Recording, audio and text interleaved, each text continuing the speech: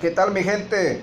Eh, la operación que voy a mostrar en este video es correspondiente al tema tornillo sin fin.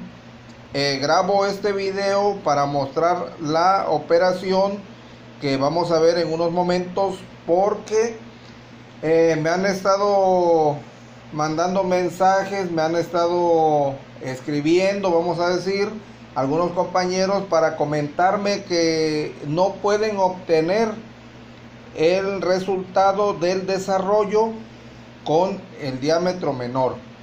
Eh, por alguna razón, no sé, este, no les da el resultado y por eso es que grabo este video para mostrarles, eh, vamos a decir así, dos operaciones con las que podemos obtener el desarrollo del diámetro menor.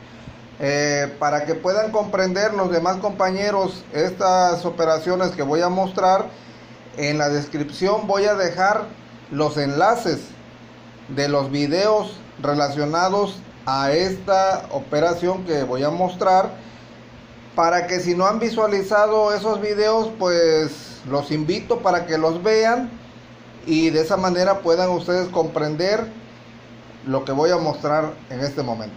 Bueno, eh, el diámetro menor es 5 centímetros.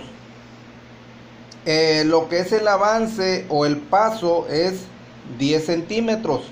La operación que tenemos que hacer para obtener el desarrollo de este diámetro menor es la siguiente. Función polares.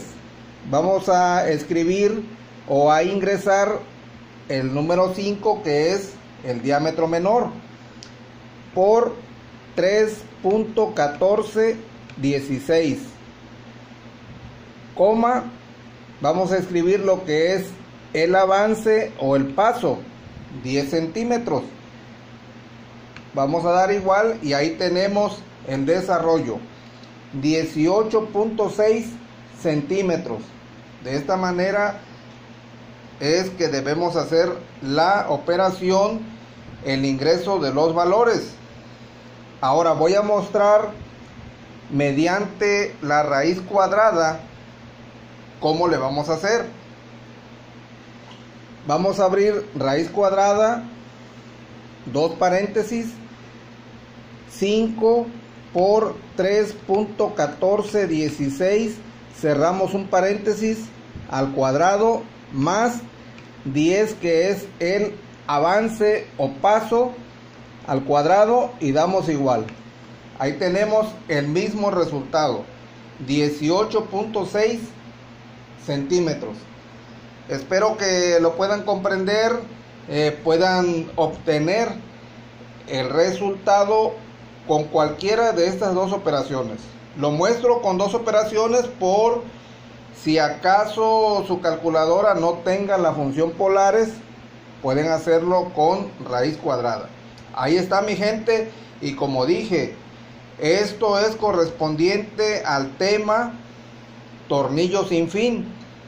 Dejaré los enlaces en la descripción para que los puedan visualizar.